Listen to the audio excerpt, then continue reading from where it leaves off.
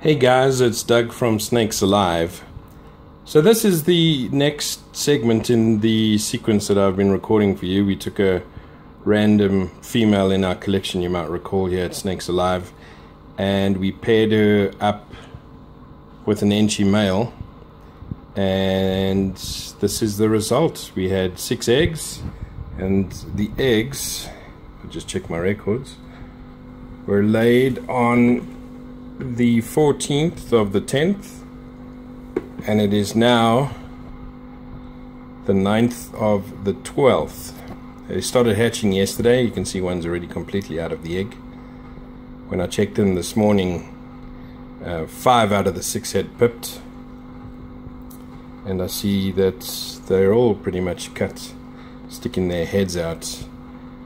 So 55 days and the temperature that we incubated at was between 31 and a half and 32 and a half. So there you go.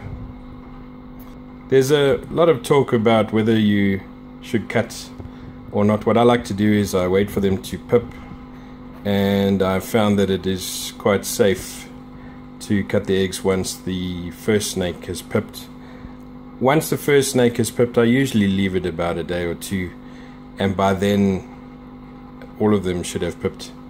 And uh, obviously, in that case, there's no need for you to cut. I suppose if after that an egg hasn't cut and you are confident in in cutting, then uh, then go ahead and cut. Just make a, a small incision what I do is once they have pipped, usually it's just their head sticking out, so I'll take a, a pair of um, nail scissors and just lengthen the already existing cuts, make them a bit longer. Uh, see this okay over here.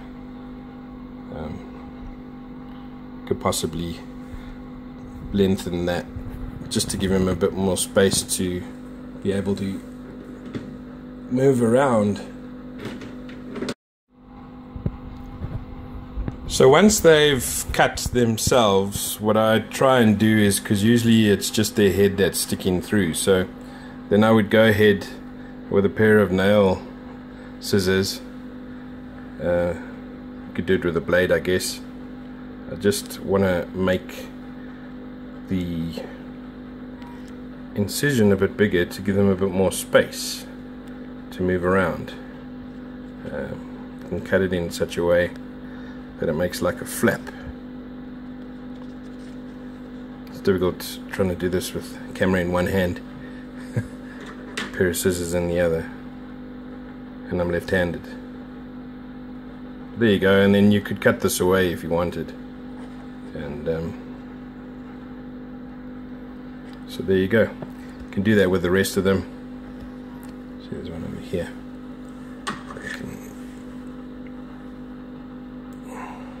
do with a bit of a snip.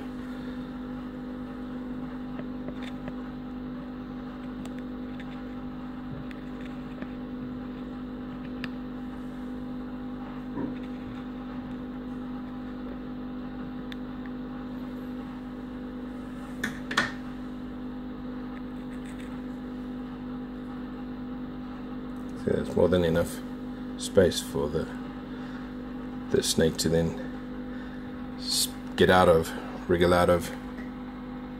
I think these are these are okay. Big enough space. This was the one this morning that hadn't hadn't cut along with the rest, so I just made an incision, and uh, I'll leave it a a day or so. Let's see.